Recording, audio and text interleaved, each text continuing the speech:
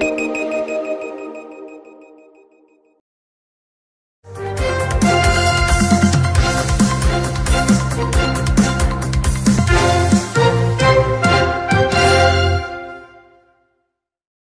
Hola, ¿qué tal? Muy buenas tardes. Les saluda Isa Hernández. Qué gusto que estén con nosotros en este viernes 15 de enero del año 2021 y juntos seguimos vigilando las alertas sísmicas mundiales. Hoy el día ha estado bastante activo con respecto a los movimientos telúrgicos. Un fuerte terremoto que azotó Guatemala en horas de la madrugada de este viernes que sigue dando noticia alrededor del mundo y también mayormente los movimientos telúrgicos concentrados sobre sectores del área de nuestra América. Por supuesto, de último minuto, Acabamos de conocer que se registró un terremoto de magnitud 5.2 muy poco profundo que fue reportado temprano en la tarde cerca del volcán Chimborazo. Exactamente según el Instituto de Geofísica de la Escuela Politécnica Nacional de Quito en Ecuador, el sismo produjo en horas de las 2 y 21 hora local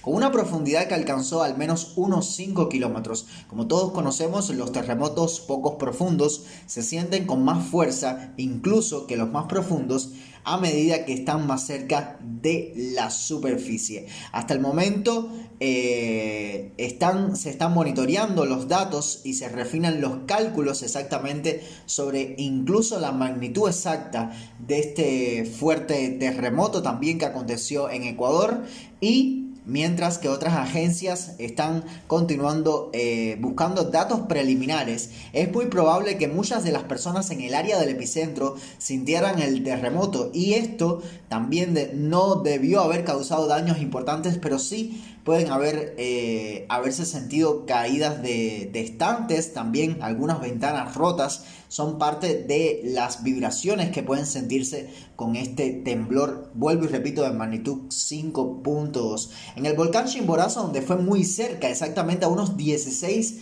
kilómetros exactamente, eh, fue perceptible al norte y noroeste del volcán Chimborazo, existen alrededor de este volcán una población que equivale a unos 165.200 personas y está ubicado exactamente a unos 31 kilómetros, como les decía, del epicentro. También el terremoto debió sentirse como un temblor level y se podría haber sentido un temblor más débil incluso en Muisne con una población que alcanza las 13.400 personas, ubicado a unos 74 kilómetros del epicentro. Hasta el momento, como les decía, las autoridades están investigando este informe de último minuto y nosotros a través de Café Noticias estamos informando en esta noticia de último minuto. Vuelvo y repito, un temblor de magnitud 5.2 en la escala de Richter con una profundidad exactamente de solo 5 kilómetros